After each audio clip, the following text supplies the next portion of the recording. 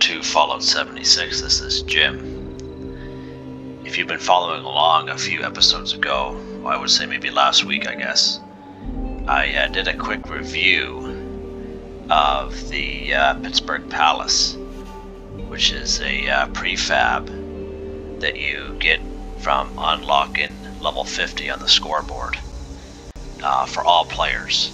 So that's uh, that's pretty awesome. So uh, after doing that review, I was kind of thinking of some ways of how I can use that because I really liked it. I really liked it. Um, I've been rocking the old uh, quick camp, rocket camp for quite a little while, and uh, so I decided to um, dispose of that stuff and uh, build the Pittsburgh Palace. So um, probably probably more than halfway done, just a little bit. Uh, but I just kind of wanted to show you um, the size of this uh, prefab. It's it's absolutely huge, and I just love the size of it.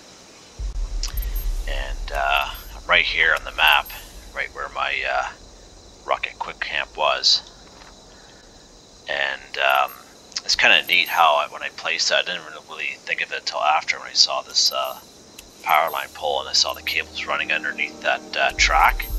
But uh, I didn't really plan it that way. But I was thinking, gee, that looks pretty awesome actually. And because I thought it was going right through, but it doesn't. Goes right underneath it perfectly. And uh, I'll tell you, that was a fluke. a pure fluke. So it's uh, it's a very big, very big structure. Um, so I, I, kept the uh, the plants here. There wasn't any point destroying them. But uh, what I really liked about it was it has uh, two floor level kind of uh, sea cans here, as compared to the um, the Mega Mansion, which I also have.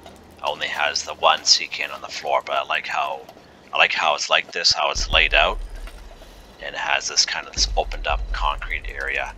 So um, yeah, it's pretty neat. Um, I have the stash box here for more so for players that are kind of coming by. Um, I know when I visit other people's camps, uh, sometimes I like to get in the old stash box and you know uh, check out what I have. And so I have the uh, the vendors right here, and uh, have only one tied up to the power, but it'll show up on the uh, the map.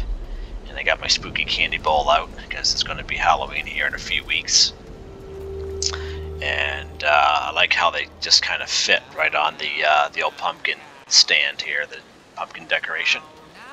Uh, pretty sharp. Hey, listen here, Raider Punk. Will you be quiet? Jesus. oh yeah, okay. Get a little louder now. Uh, then I have the um, the uh, perk card, so you know basically a player can come to my camp and you know they don't have to look for it they don't have to try to find it. Everything's like right here. Um, I have my shelter right here so if you if there's like a daily to visit someone's shelter. So like everything's like right here. So you're not searching around this huge area for that stuff. Um, I put that uh, Nuka-Cola guy the robot the Collectron over there um, at my uh, other camp. He was like really really starting to annoy me, so I put him over here. I have it all caged off so he doesn't move around too much. kind of trap them in there. Um, so I have my little uh, grocery cart grill outside here, of course. Right, I have the asymptomatic outside. Somebody else can use it. Um, I have my popcorn machine here. I have my little generator on the side there, kind of out of the way, kind of powering it. I got my uh, purified uh, water locations um, let's go inside here. And uh, this is pretty much the main living quarters. Like everything that I need to do is like right in here. And other players can come in here too because it's not going to be locked and they can kind of work away. And uh, if they have a cooler, it's uh, it's right there. And uh, you know all these are you know different kind of stash options and all that. There's my bed. Yeah, but the other player can lay down there if they want to. Off the ground. So that's pretty awesome. And then in here, I have a little section, just a, kind of like a brewing kind of section. Chemistry station, uh, fermenter, and uh, the brewing station gas pump there. So And I put a little, few little decorations in here that I got over the over the last little while, kind of thing, kind of make it look kind of neat.